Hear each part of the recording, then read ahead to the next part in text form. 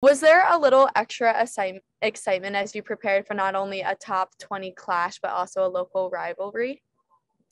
Yeah, I think I think this game has has turned into a good rivalry. Um, you know, they're a great program, and you know they're, they're so close. So it it certainly adds to the excitement, and both teams are having a good season. So I, think our guys were really fired fired up, and you know, play with a lot of energy tonight.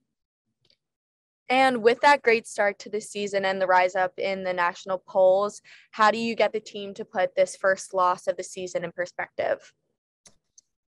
we're all just disappointed. I, I, you know, the first thing I want to say, I want to give Harvard a lot of credit. I thought they had a great game plan. I thought they, um, you know, outplayed us. Um, I thought they were more physical on, on ground balls and they rode us really well. I thought they had a great game plan and, um, you know, all credit, credit needs to certainly go to them. But at the end of the day, I, I think we can play better. Um, we, we weren't great in our clears, which has been something that we've been really good at all year. Um, you know, we continue to turn the ball over at, at a little higher rate than we want to.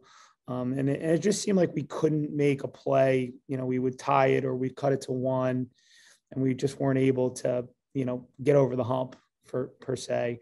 Um, you know, Harvard's a good team and it was a great game. And, you know, we certainly showed we were capable of, of, playing at that level at times. But, you know, when you play a really good team, you have to limit your mistakes. And, you know, I think we just had too many mistakes tonight.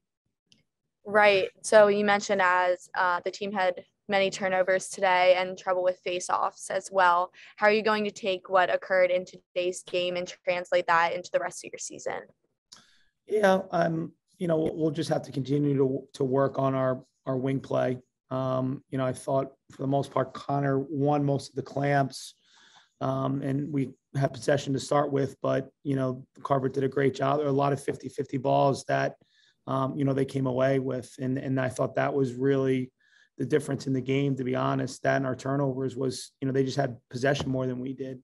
Um, you know, I thought both defense were doing a great job. I thought both offenses were doing doing a, a solid job as well at the end of the day, they, they just had more possessions in the second half, whether it was from winning a face-off or us failing a clear or turning the ball on over, uh, turn the ball over on on offense.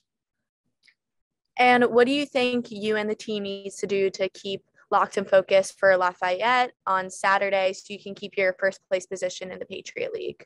Yeah, we'll have to bounce back quickly. Um, you know, certainly tonight was a hard game, very physical. Um, I thought both teams played extremely hard.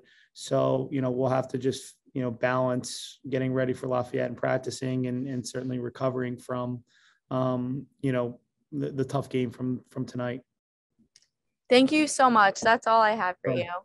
You're welcome. I just wanted to ask you real quick about Garber, you know, another great game I thought for him, a lot of point blank saves and, you know, how important sure. has he continued to be for your team? Yeah, Matt was, was great again. Um, you know, made, made a lot of big saves for us, you know, kind of kept us in the game. And, um, you know, he continues to, to play at, at, such a high level. So, you know, he, he was, um, you know, was important for us as, as, you know, we turned the ball over, gave them extra possessions, you know, to continue to get stop after stop. And, you know, with their, their man up unit, you, know, to hold those guys at bay. Um, you know, it was, uh, you know, we played a lot of defense tonight for sure.